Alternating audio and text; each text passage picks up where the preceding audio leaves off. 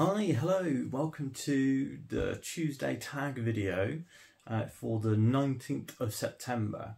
Now, uh, I was tagged by uh, Jonathan Rossignol, um, so uh, I didn't actually know that Jonathan watched my channel, so uh, thanks very much for watching. Um, I'll tag his video down below and uh, and his channel so you can um, go and give him a look and see what he's like. Um, and he tagged me in the All About the Titles uh, book tag. So this one is specifically kind of um, lots of different questions about book titles um, that kind of to prompt you to talk about different books. Now, um, I'm going to just run through these quite quickly um, because not all of these I've read, so a lot of them uh, I am planning to read because I think that people are kind of more interested in what you're planning to read than what you've read. And on top of that, um, I struggle to find books that fit the titles for a lot of them. So, uh, question one is a book with a one word title. Now, I talked a little bit about this in uh, my initial kind of what I'm going to be reading later this year physical TBR video and this one is the second book in the Alex Verus series, Cursed by Benedict Jacka. Uh, now, uh, I have talked about this a few times. I didn't love the first um, Alex Verus novel. I saw a lot of potential, um, and which is why I'm continuing on the series. And also, it's kind of like the Dresden Files methadone um, to kind of give me a story in that sort of mold because as you know I love the Dresden Files. So um, Cursed by Benedict Jacka is going to be my answer for a one word book title. I'm hoping to read this by the end of the year. As you, you can probably tell, it's a library book, so I've only got so many times I can keep renewing it before uh, the library gets annoyed at me. So I will need to uh, read this at some point in the next couple of months, probably. Next book is a, a book with a phrase in the title. Now, I wasn't 100% sure what this question meant. Um, so, what I thought I would do is pick a um, kind of a, a book that I had on the shelf that had kind of a play on a popular phrase. So, the phrase I chose, I say phrase, the phrase is all you need is love. And the book that I chose to fit this um, phrase in the title prompt was the manga All You Need Is Kill by Takeshi Obata and Hiroshi Sakurazaka. So, All You Need Is Kill is something that you may be somewhat familiar with because it was adapted into the Tom Cruise and Emily Blunt movie Edge of Tomorrow, which uh, they have since retitled for um, home video as Live Die Repeat. Um, so it's a um, the uh, I have actually read this one. So a lot of the books on this list um, I haven't read, but this one in particular I have read, and this one's excellent story. It's very, very similar to the movie, obviously, because with comics and manga, it's quite easy to adapt into a movie because you basically have a storyboard already. Um, and uh, the story is genuinely really good. So it's about this soldier who um, comes into this big battle, and during the battle, something happens to him, and that every single time from then on that he dies, he returns to that moment in the battle and he meets up with another character who this has already happened to. Uh, and she is, um, but she's uh, not currently uh, in that repeat mode. And obviously, they can't sync up because when one of them dies, the other one will, will you know, the other one's still alive. It's really interesting. Um, so uh, I've read this one. It's a really short read because it's a manga, even though it's quite a chunky one you can read this in like a day. The artwork is genuinely really cool. So, I mean, like, here's a really good example. Like, this dude here looks awesome, and there's some great action. Uh, there's some like really cool, like massive, um, like big, huge spreads. And it's all in black and white, as all manga is. Well, most manga is. Um, but uh, yeah, I really, really like this manga. I would recommend it to anyone. It's a one shot, it's completely finished, it's done. You can just go out, pick up this one manga volume, and read an entire complete story, which is not always the case with manga. Um, let's go on to the next prompt. So, the next prompt is a book with a sentence in the title. So, for this one, um, I chose 16 Ways to Defend a Walled City by KJ Parker. So this is one that was recommended by Matt from Matt's Fantasy Book Reviews.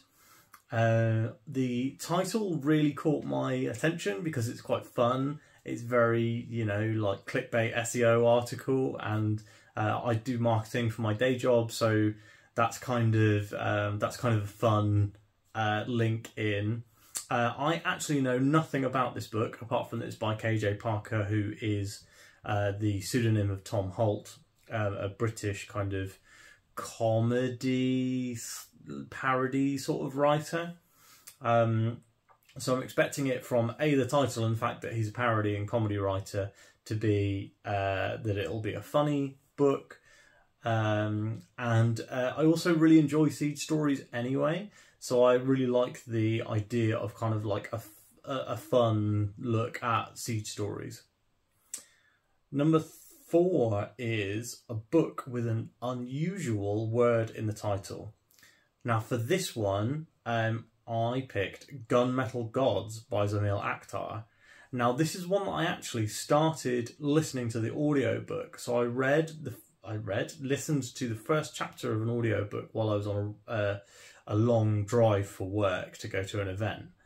And I uh, really enjoyed the first chapter and I thought it was, re- a really good concept, and uh, I liked the kind of character that you meet in that first chapter.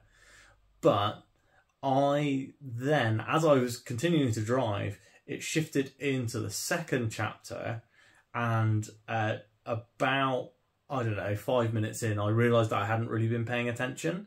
Uh, which unfortunately is a big problem for me with audiobooks. I thought I might be able to get over the hump uh, and listen to them in the car, but I think that after so long, my my after a, you know not a particularly long period of time, my brain kind of starts to wander, and I start paying more attention to.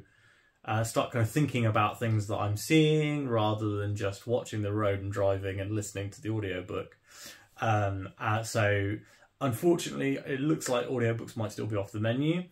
Um, but I do still have the audiobook, and I actually bought the uh, book on Kindle ages ago so I could also read it on Kindle. I'd really like to do that um, because, as I said, the the concept's really cool. It's kind of like a kind of a Mecha Cthulhu, um, Arabian Nights style genre mashup, and honestly, that all just sounds really cool. Um, number five is a book with a name in the title. So for this one, I went for The Lies of Locke Lamora by Scott Lynch. This is a real booktube darling. A lot of people love this book. I actually read, I would say, about half of this book, um, maybe 15 years ago. When I, no, that's probably too long ago. 10 years ago, maybe. But this was when I was just really not in the groove of reading books. And the fact that I got halfway uh, probably tells me a lot about how good that book was and everybody says it's excellent. So I feel like that's kind of a slam dunk to add to future TBRs. I don't think I'm going to be reading it this year because I've got a lot of stuff I want to get through. I've got a lot of sequels that I want to read and even, you know, threequels and beyond. I would like to finish up or get up to date on a lot of my series before I start anything new. Next up, we have a book with a made up word in the title which is uh, something I had a lot to choose from because of you know reading a lot of fantasy. But I thought I would pick out this one because this is one that I had on my physical TBR that I'd like to read in the near future, in the you know at some point in the future, which is Curse of the Mistwraith by Janny Wurts. Now, I bought this one from secondhand from a very cool um, sci-fi, uh, fantasy, uh, gaming, comic book shop in uh, the the city over from the town I live in. Um, they had a load of old fantasy novels for like one or two pounds each, and I found this one and the Dragonbone chair both for a pound fifty, I think. Um, and they were the only ones where I recognised the title, and they were also the first in the series because I didn't want to like start buy a book that's halfway through a series just because it was cheap. Uh, that's kind of silly in my opinion. Um, so I bought these two, uh, and they are on my Sunday TBR. So they're not on any sort of list that I'm planning to read soon, but they're something that I want to read eventually. Next up, um, so this one is a book with a pun in the title, and whenever I think of puns, I think of like comedy books. And um, the most famous kind of fantasy series of comedy books is Discworld. And I was looking through the titles of Discworld books to find one that was a, a really good pun. And I think my favourite one I saw was Equal Rites. Now, Equal Rites is um, the first book in the Witches storyline in Discworld. Um, everyone says to start Discworld with Guards Guards. Now, I normally I do listen to reading advice. So if someone says you should read these books in this order because that's the good order, I normally do that. But I I want to read Discworld like people who read Discworld from the start read it. So I'd like to read it in publishing order. I think that's the best way to read the Cosmere. Um, I think that's the best way to read most um, kind of multiverse style, or not multiverse, but like multi-story, multi-arc um, series. Um, and it kind of comes back also from like uh, my very long history of reading comic books, where you really want to like, if you want to read a story, you often just want to go straight back to when it first started, um, and not and and then if say for example you're reading a big Batman event, you you don't want to read all the Batmans, then all the events, then all the Nightwing, then all the Robin. You want to read them as and when they were published, so that you're up to date. Every you know the character you're reading about is at the same point in the story that you are. So Discworld, I would like to read in publication order. Whether I will ever do that, I don't know. I was looking at Discworld as being kind of a palette cleanser series. So where what I used Dresden Files for originally was kind of as a big palette cleanser between big chunky books. And then I got so into Dresden Files I just marathon through them. But maybe I could do the same with Discworld where I'll pick up one in between each big chunky novel. Next up, a book with a title that describes it well. Now, for this one, I've kind of cheated a little. Let me get the Kindle out. I've picked the book that I'm currently reading, which is Never Die by Rob J. Hayes. Uh, and uh, why does the title describe it well? Well, because the characters never die. That's it.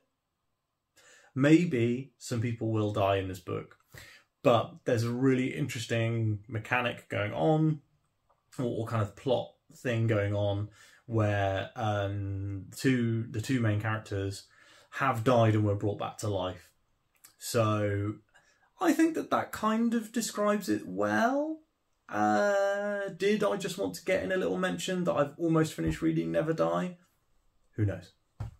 Next up, a book with a title that doesn't describe it well. Now, you're going to have to give me a lot of slack here. I am picking for this one Gardens of the Moon by Stephen Erikson. I am sure when I read it that I may un you know, I'm not actually sure I will understand it because it's famously a complicated uh a complicated series. However, I think that when I read it, I will be able to um, tell you. I might be able. I might be able to tell you why it's called Gardens of the Moon, but uh, I've read a few chapters of this book. Again, this was a few years ago when I was not into, uh, when I did not have a consistent reading habit. Um, and it just completely, like, I don't remember any moons or any gardens for that matter. I probably, I probably only read 10, 15% of this book. Um, Malazan, which is Gods of the Moon, is the first book in the uh, Malazan Book of the Fallen, which many people may know. Uh, big booktube darling slash booktube controversial pick because a lot of people don't a lot of people don't get on with Malazan. I'm not sure if I will, um, but I do think that I would like to try and read it. Now, I'm having some genuine thoughts for next year on the channel. So I know I've only been doing uh, videos for like a month, but I'm already thinking about what will be the big events for next year, for the things that I'm going to be reading. And my, I'm really trying to make a decision between whether I want to read The Wheel of Time or Malazan. Now, pop a comment down below if you've got an opinion on that.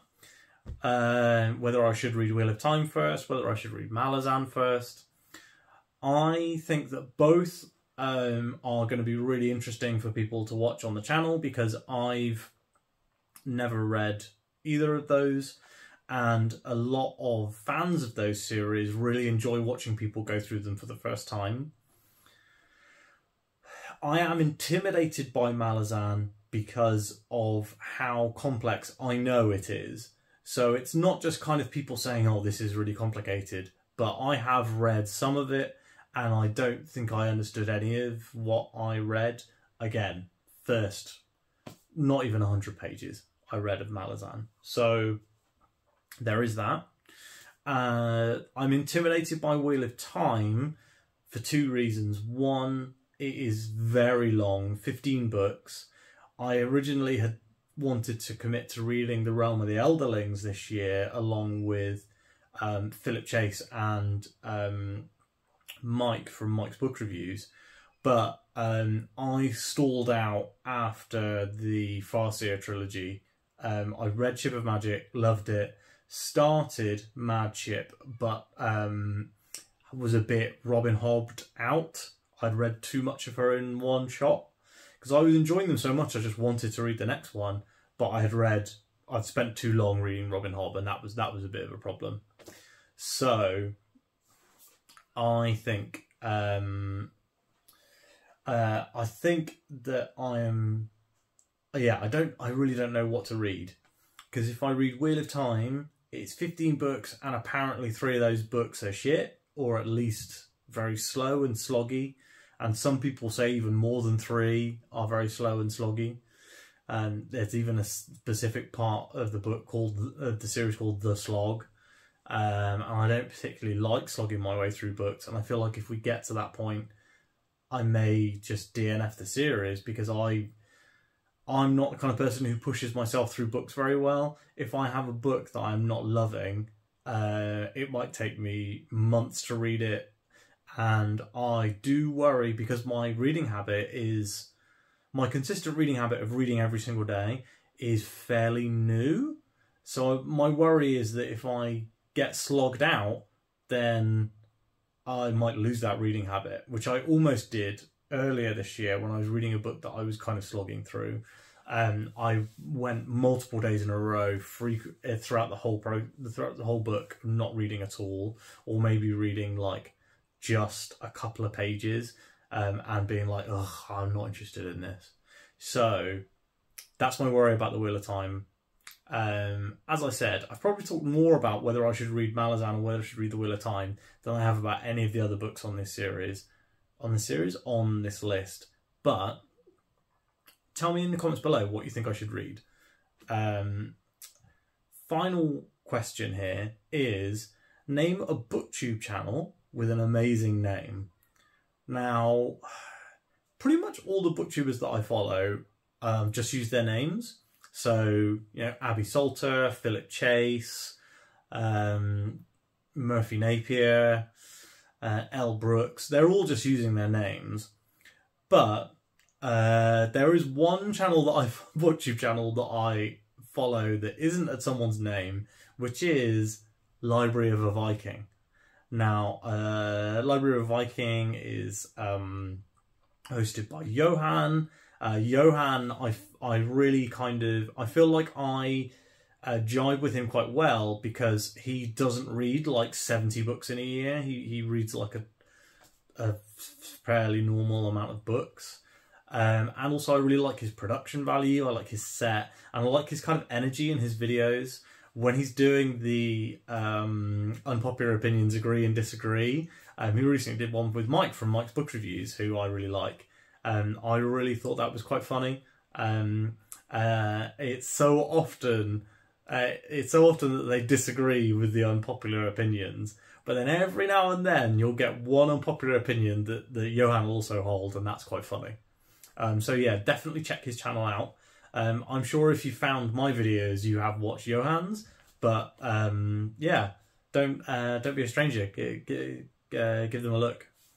So um, that was a uh, probably too long tag video. Thanks very much for watching. Um, as I said, vote down below on Malazan or Wheel of Time, and um, I will speak to you soon. Like and subscribe.